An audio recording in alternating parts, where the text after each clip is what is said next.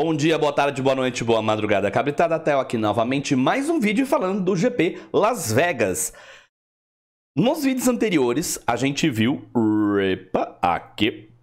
A gente viu o G-Sky Creativity e a gente viu os dois Amulet Titan. A gente vai falar hoje de um deck que ele talvez seja o mais improvável de estar nessa lista. E ele ficou em segundo no top 8 do suíço. E no geral, ele acabou ficando em terceiro lugar, que é um resultado bem inusitado para o Infect. Por quê? Porque Infect ele foi um deck que teve vários banimentos, alguns até antes do Modern ser o que é hoje, né? Mas teve um principal que foi bem pesado, tá? Mas antes da gente falar, vamos fazer um recadinho rápido para vocês aí. Estamos chegando no fim do mês, hoje dia 24. Provavelmente vocês vão ver esse vídeo no dia 24 mesmo. E Tá lá, você pode concorrer até 80 kits de pré-lançamento no Marketplace da Liga Magic. Ao comprar no Marketplace, a cada 100 reais de compra você recebe um cupomzinho. Se você usar o nosso cupom de desconto, que é TIO, T-I-O, mais rápido não tem, TIO, você dobra esses cupons. Ou seja, você concorre duplamente. E o que, que é o sorteio? kits de pré-release de Voto Carmesim, coleção que tá bem bacana aí, cheia das artes alternativas do Drácula e tal. Então, quer ganhar? Só usar o Marketplace e dobrar suas chances com o cupom TIL. Bem, Infect. Cara, Infect é o seguinte. Ele tem um motivo para estar tá aqui e o motivo é uma sacada do do, do construtor do deck, da, da pessoa que viu no deck uma maneira de escapar de todos os removals atuais.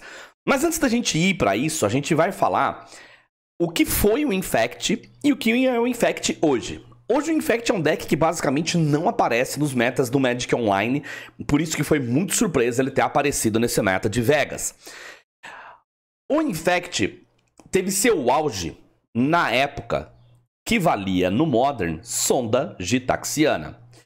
Sonda gitaxiana merecia um vídeo quase praticamente só para ela, porque ela é talvez a carta com o design mais quebrado do Magic, ou uma das mais quebradas do Magic. A gente podia passar horas falando dessa carta. Mas qual que era a importância de Sonda Gitaxiana nesse deck? Era que esse é um deck combo, e ele podia trabalhar tanto com o all-in, ou seja, ele trabalhava olhando a mão do oponente e falando, beleza, eu vou jogar todos os meus recursos no turno 2 e ganhar, ou dependendo se o oponente tivesse alguma disrupção, alguma interação, ele jogava para trás e ele conseguia ficar acompanhando isso round a round se você tivesse mais sondas gitaxianas. E o detalhe, que pelo fato de custar zero, ou seja, uma mana firexiana é zero, então era algo que você não gastava nenhum recurso recurso. Então você olhava a mão, opa, o oponente não tem interação, posso ir na certeza e cacetear. Então é uma carta absurdamente roubada para esse deck. Né? E era perfeito, assim, era muito perfeito. Eu joguei de Infect há muito tempo. Era um negócio, assim, fora da casinha, né?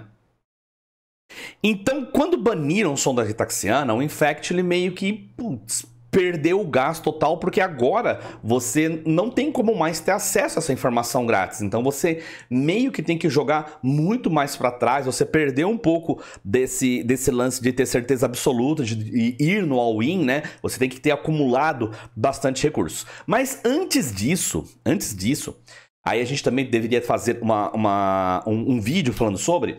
O Infect já tinha tomado um, um, um, outro, um outro ban, uma outra, uma outra canelada, que foi o banimento de Blazing Show. Blazing Show rodou no Modern, só para vocês terem mais ou menos uma ideia. O Blazing Show, ele rodou na fase que eu chamo de Modern Modern Alpha. Porque o Modern ele foi o formato planejado da Wizards. A Wizards pegou, ficou testando bastante tempo no Magic Online e tal. Depois ela fez um, um, um Pro Tour com convidados para testar o Modern. E aí, desse Pro Tour, eles baniram mais cartas e refinaram a lista de banidas, coisas que eles deveriam ter feito no Pioneer, né? Já falei para vocês o que aconteceu no Pioneer. Se, tivesse feito, se eles tivessem feito igual eles fizeram no Modern, teria tido um negócio muito mais legal. Então, Blazing Show jogou só nesse Pro Tour. A galera usava Blazing Show no, no, no em cima de alguma criatura com Infect, exilando Progênitos. E Progênitos custa 10 mana. Então, basicamente, o que você faria, fazia era atacar com bicho, usou Blazing Show exilando Progênitos e acabava o jogo, né? Porque que faz Blazing Show? Você pode remover uma carta vermelha com custo X, ao invés de pagar o custo de mana de Blazing Show. E a criatura ganha mais X0 até o fim do fim do turno. Se o custo do Progenitus é 10, a criatura ganha 10-0, o que no Infect é o suficiente para matar. Então eles viram, puta, Blazing Show é a péssima ideia, e desde então, depois desse Modern Alpha, Blazing Show nunca mais viu o jogo no Modern, é banido até hoje por motivos óbvios, tá? Mas qual que foi o grande lance, tio? O que que fez esse deck ganhar o evento? Provavelmente um splash inusitado, que é cruzado firexiano. Vamos lá. Com o advento de Modern Horizons 2, meio que todos os removals convergiram para dois removals, que é Unholy Heat e Prismatic Engine, vermelho e branco. E quais são as proteções de Phyrexian Crusader? Justamente vermelho e branco. Então, para o meta atual, é como se o Phyrexian Crusader tivesse Hexproof porque nada remove ele. O pessoal deu uma parada de usar Fatal Push, é, não tem outros outros removals relevantes, então Phyrexian Crusader provavelmente passou o carro em muita match simplesmente por entrar em campo de batalha e depois só tuchar aquele monte de proteção nele, dar uma porrada que finalizaria o jogo, tá? Eu acredito que tenha sido isso, né? Não teve, infelizmente, esse evento não teve é, nenhuma, nenhuma stream relevante, oficial, né? Só teve algumas que não foram oficiais. Então não dá pra gente ter certeza. Mas eu acredito, olhando bem em cima o deck, tenha sido isso. Mas vamos dar uma olhada aqui que, o que, que é o Infect, tá? Infect é um deck que ele é um, um ele é um combo, tá? apesar de ele ganhar batendo, ele é um combo, ele tenta causar 10 pontos de dano para terminar o mais rápido possível a partida né? Através da habilidade Infect. Infect, se você levar 10 marcadores de veneno, você perde o jogo, tá? Então todas as criaturas dele, quase todas, têm Infect ou têm relação com Infect. No caso, a criatura mais que você quer turno 1 começar, Glistener Elf, uma mana verde, tem Infect, é 1/1 tá? Então você começa, é muito comum você começar com ele e no turno 2 já começar a agressivar, né? Já tentar proteger ele ou já tentar pumpar ele, né? Seu oponente baixa no terreno virado, você já quer dar o máximo de infect possível, tá? Então, turno 1, um, Glistener Elf é uma das jogadas mais perigosas do Infect. Hierarca Ignóbil. A presença dele aqui é sim o ramp, entretanto, ah, o que você mais quer é justamente o exaltado. Porque você dificilmente ataca com duas criaturas. Você normalmente quer uma criatura e essa criatura vai tentar finalizar o jogo. Até porque você não quer expor várias criaturas ao mesmo tempo, tal, né? Então você vai indo de um em um no Infect. Hoje a postura do Infect é jogar um pouquinho mais para trás, né? Ela vai dando um de Infectzinho, protegendo os recursos que não são muitos. Ó. São 20 criaturas, mas dessas criaturas são relativamente poucas que têm Infect. Então você quer manter esses recursos. Então o Hierarca Ignóbil, ele é um bônus que você coloca na criatura atacante sem precisar necessariamente gastar uma mágica, o que faz diferença ao longo do jogo. Então, tem quatro Hierarca Ignóbil, que dá mana junde aí, e tem quatro Hierarca Nobre né? Então, se você tiver dois desses e atacar com um elfo brilhante, você basicamente vai estar tá dando 3 de dano. 3 de dano pro Infect é basicamente 30% da vida, o que é muito. É como se você estivesse jogando é, num, num, num, deck normal e você estivesse dando quase 7 de dano com um ataque, o que é bem relevante, né? Aí a gente tem o agente deteriorado. Os infects, eles normalmente eles são Simic, Tá? Eles usam agente deteriorado. É, é, varia um pouco durante a história, né? Às vezes era monogreen, às vezes era. Já chegou a ser é, azul e preto. É, ele tem algumas variações, mas normalmente ele é Simic, justamente para contar com a parte de anula e contar com a parte de pump. E a criatura mais importante do Infect é o Elfo Brilhante. Então, é sempre verde alguma coisa, tá? O de Deteriorado, a grande vantagem dele é que ele não pode ser bloqueado. Então, hum, é, as criaturas de Infect, elas são pequenas e normalmente você tem que... É, a dificuldade, a grande dificuldade é você passar por cima de alguma criatura, né? Defensora e tal. E o agente deteriorado meio que mitiga esse problema, né? Simplesmente você vai atacar e foda-se, né, mano? Não vai ter bloqueio e tal. Pumpa tudo nele e vai que vai, né? Então, uma mana qualquer e uma azul, ele tem infectar e não pode ser bloqueado. Simples assim. A gente já falou do cruzado firexiano, né? Que, como eu disse, normalmente os infects eram duas cores. Esse infect tem umas características meio interessantes, a gente vai ver, ele foi muito bem pensado. Mesmo assim, foi uma surpresa ele estar tá no top de um evento tão grande, tá? Vamos para as mágicas daí. A voltar, provavelmente, foi a última mágica que entrou é, realmente relevante para esse deck. A voltar é, é bem absurdo, tá? Porque por uma mana verde você vai transformar uma criatura pequenininha numa 6/4. Né? Você pega um elfo brilhante no turno 2, você tem uma mana, duas manas, né?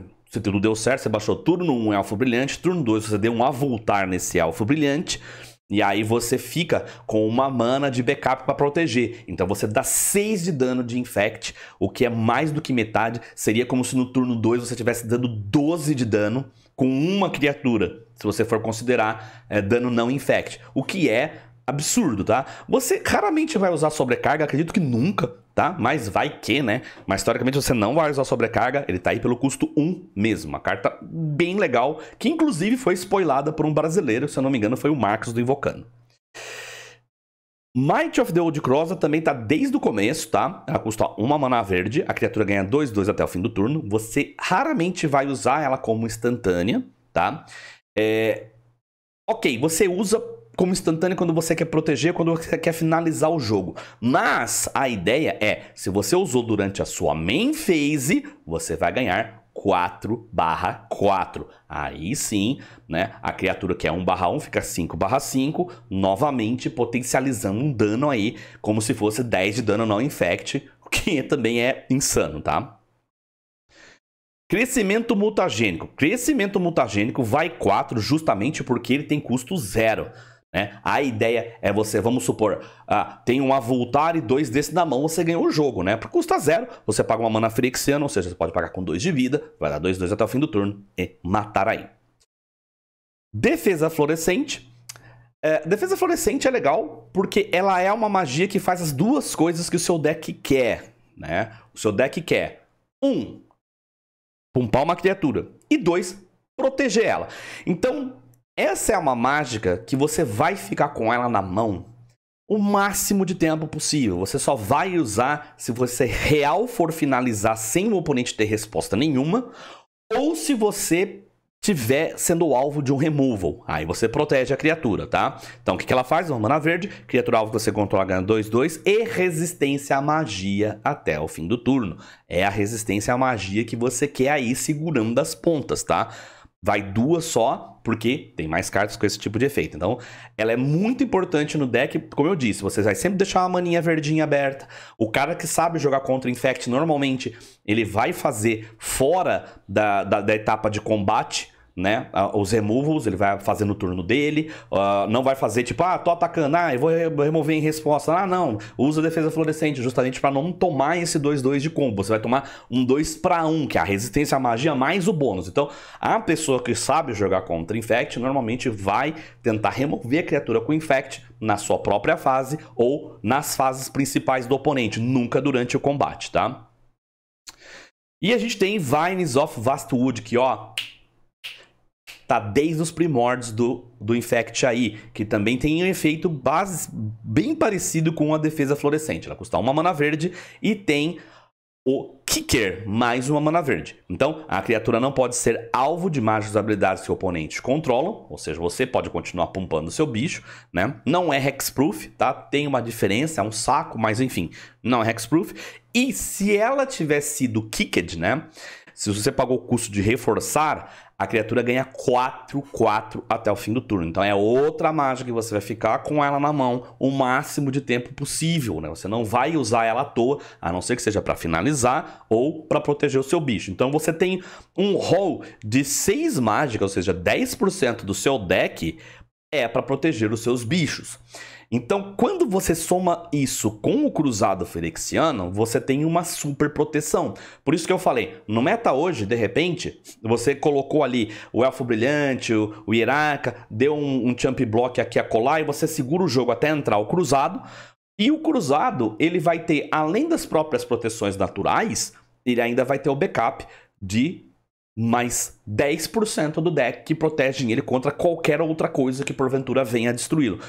Então é isso que eu acho que foi o segredo desse cara. Foi esse essa leitura de meta de colocar uma terceira cor no Infect, o que não é usual, para conseguir escapar da, das remoções que estão rolando atualmente, tá? E aí é um gigante de um finisher Become Immense, que vem lá de Tarkir, né? É, é uma mágica que tem Delve.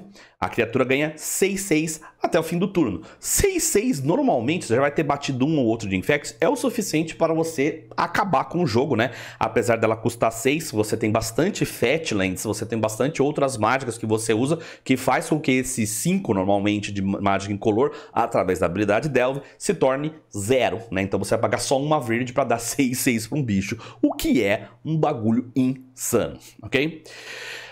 Como a sua base de mana ela é bem baixinho o custo, tá? A carta, a carta mais alta é justamente o cruzado, né? Então você precisa de poucos terrenos, ok? Então você está usando duas catacumbas verdejantes. É engraçado aí justamente a parte da catacumbas que te dá mana preta, né? Então ele teve cuidado de colocar uma maninha preta aí, né? Caso você precise buscar. Charco da Procriação é a, a, a Shockland das cores do deck. Ele tem contraforte arborizado também, que é uma FET das cores do deck aí, né? Ele tomou cuidado de, de variar as FET lands. Duas florestas, porque o deck é 90% floresta, né? Mais duas, né? Uh, FET lands que são das cores do deck. A principal, inclusive. Nexo de Moscotintas. Lembra-se que eu falei que esse deck tem pouca criatura, especialmente pouca criatura que dá infect, né? No caso aqui, é, são 4, 8, 12. Às vezes é até menos, tá? Como eu disse, a, a, o acréscimo de Phyrexian Crusader foi meio que um metacall. Normalmente é só quatro criaturas, às vezes mais uma, alguma ou outra diferenciada, mas normalmente é só isso mesmo, tá? E o Nexo, ele, ele é uma, uma, uma, criatura, né, que é terreno, dá uma mana incolor, ou você paga uma, ele se transforma num bicho voador, né, que tem infect. E esse voador é o que passa por cima muitas vezes de muitas coisas. E o interessante é que ele escapa de removals em forma de sorcery e mass removals, né? Não estão sendo muito usados mass removals no meta de hoje, mas eles são presentes. Eventualmente acontece alguém ter mass removal. Então o Nexus ele escapa disso. Né? Então, ele é muito, muito, muito importante toda construção de infects simples ou quatro nexos de moscotintas, né? É moscolumes não, falei moscolumes é o outro sem infect, é moscotintas, tá? Desculpem o errinho aí. Nós temos Pendenhelven. Pendenhelven, eu costumo dizer que os terrenos que entram de pé e têm habilidade são terrenos muito, muito, muito bons no Magic, tá? A gente tem bastante desses em Kamigawa e Pendenhelven. Foi um terreno que por muito tempo foi muito caro e quando ele relançou na primeira Time Spiral lá atrás, o preço dele caiu e tornou-se acessível. E Pendenhelven é, é muito especial porque ele dá uma habilidade muito desejável para esse deck, sem gastar mana, né? Ok, virou um terreno, tecnicamente está gastando mana, mas é, é, é, uma habilidade que é difícil você anular, né? Porque são poucas coisas que anulam habilidades, principalmente você jogando Modern aí. Então, o que que faz? Heaven dá uma mana verde e a criatura mais, a criatura 1-1 ganha mais um, mais dois até o fim do turno. Então, normalmente, você está atacando com um, um, um, um, cruzado não, porque ele é 2-2, mas tá atacando, atacando com a gente, com o Elfo Brilhante ou com o Nexus, você ataca primeiro, aí você dá o bônus de Pendelhaven, deu o bônus, e depois você pumpa com as outras mágicas. Se você pumpar primeiro, você não consegue aproveitar do bônus de Pendelhaven. Então, ela é um bônus de graça, assim como é, a gente explicou, né? Os do, dos hierarcas aí, né? Então, você usar mágicas de graça preservando as mágicas na sua mão é algo que você quer muito, né? Shockland, tumba abandonada, justamente para ter esse splash aí, né, do cruzado, tá? Então, duas tumbas abandonadas. Ele tomou cuidado também de colocar um Urborg para não ter problema nenhum com mana preta, porque daí todos os seus terrenos se tornam, né, pântanos, então aí fica bem mais tranquilo a brincadeira. Mais duas Fatlands, vocês estão vendo aí todo o trabalho que ele teve de colocar várias Fatlands diferentes. Provavelmente essa opção foi para não cair com efeitos de, de agulha, né, com uma Python Needle, para você não travar ali tal. Então ele colocou várias Fats diferentes. E as Fats têm o trabalho de serem principalmente relevantes com Become Immense tá? Become imenso, você quer lotar o Grave, então a FET é legal, mesmo que isso custe um pouco de vida para você, você quer fechar os jogos muito rápido, então essa vida acaba sendo o maior recurso que você tem, né? Então, uh, o uso de muitas FETs, no caso tá usando 2, 4, 6... 2, 4, 6, é, 2, 4, 6, 8. Se eu não errei as contas, são 8 FETs, o que é bastante, tá? E para finalizar, do mesmo jeito que ele não quer ter problemas com humanas pretas, ele também não quer ter problemas com humanas verdes. Então, em Ave Maia, todos os terrenos geram verde, inclusive as Fat Lands, vai que você já tem coisa no Grave, você não quer mais gastar, né? Então colocou Yave Maia. O Urborg, as suas próprias Fats acabam gerando mana sem problema nenhum, né? Ah, tô jogando com um deck mais agressivo, então não preciso estourar essa Fat, só vou estourar para finalizar. Então, sem problema nenhum, tá lá, né? Yave Maia segurando o rolê. É uma lista muito tradicional, tá? Uma lista muito tradicional, se você ignorar o fato do cruzado ferexiano. Então, a pessoa que fez essa lista, ela foi muito, muito, muito feliz na análise do metagame, ok?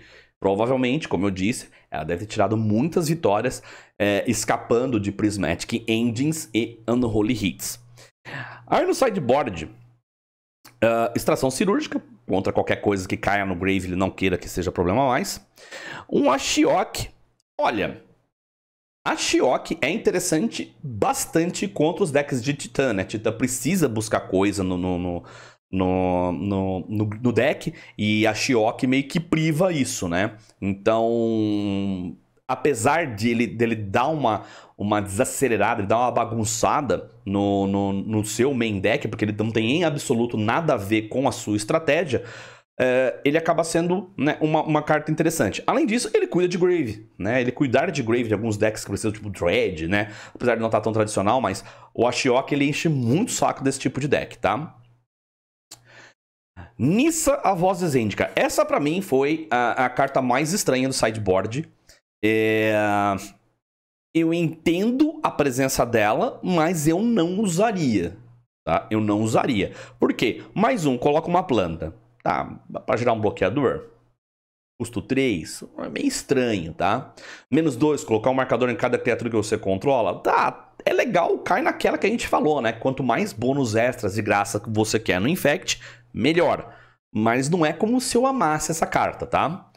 E o menos 7, cara, eu duvido muito que você consiga no Infect aguentar o tranco até chegar no menos 7. Porque o seu deck, lembre-se, ele é um combo. Ele quer colocar setup na mesa, ele quer meio que ignorar os ataques que estão vindo para tentar finalizar o mais rápido possível. Então você, raramente, acredito eu, você vai conseguir chegar nesse menos 7 aí, tá? Nós temos resistência. É, esse cara estava realmente preocupado com Grave, tá? Ele estava realmente preocupado com Grave, mas eu acredito que a parte interessante é justamente o fato de ser uma 3-4 que segura ataques, né? Com lampejo, tá? É, ela, você vai pagar 3, ela vai entrar e segurar uns ataques de criaturas mais fortes, tá? Enquanto você mantém as suas criaturas com Infect sem precisar uh, botar na frente de Jump Block de ninguém, tá? Então, ok, eu acho 4 muito, eu talvez... Eu talvez usaria um side um pouco diferente, mas tudo bem. Destruidor de gemas. Esse sim é uma cal bem legal, porque a gente tem bastante saga no formato, a gente tem martelo, a gente tem vários encantamentos e artefatos que são muito relevantes, o próprio amuleto do Amulet Titan, né? E a mutação nesse deck, ele tem uma, um, um, um teor todo especial, porque por 3 manas você transforma os seus bichos que são 1 1 ou 2 2 no caso do, do, do, do cruzado, em, apesar que o cruzado é humano, não, ela é zumbi.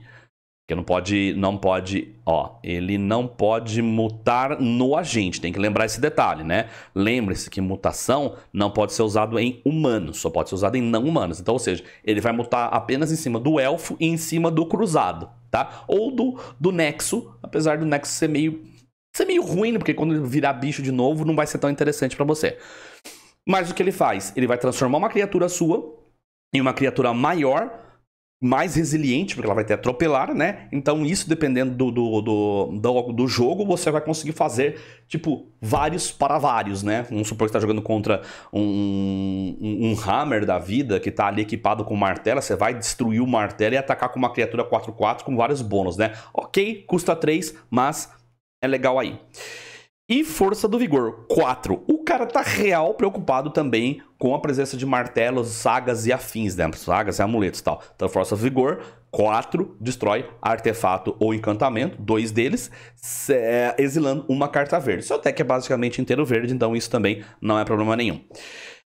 O que eu acho desse deck? Esse cara, ele foi um misto de gênio com sorte. Apesar que, como a gente fala, né? Se o cara chegou num top 8 de um evento com tanta gente, bobo ele não é. Ele deve ter treinado bastante, ele deve conhecer bastante do metagame, justamente porque essa mudança aqui é algo bem fora do normal. E eu atribuo esse top 3 aí desse GP, né, do Jeff, Jeff Jal, eu atribuo justamente a essa grande sacada aí. Bem, é isso aí, pessoal. Eu espero que vocês tenham gostado né, desse vídeo. Tá? Dessa série, se estiverem gostando. Amanhã a gente vai falar de mais outros decks, né? Tá faltando aí só o, o Rakdos, o Jundi e o Elementais. A gente vai falar desses outros três decks, analisando justamente para esse novo Modern que tá aí. E a gente tá vendo essa fase de transição entre os eventos presenciais, né? os eventos dois anos aí só de MOL para os eventos presenciais e como o meta está se adaptando a isso. Certo? Eu espero que vocês tenham gostado do vídeo. Grande abraço e até logo!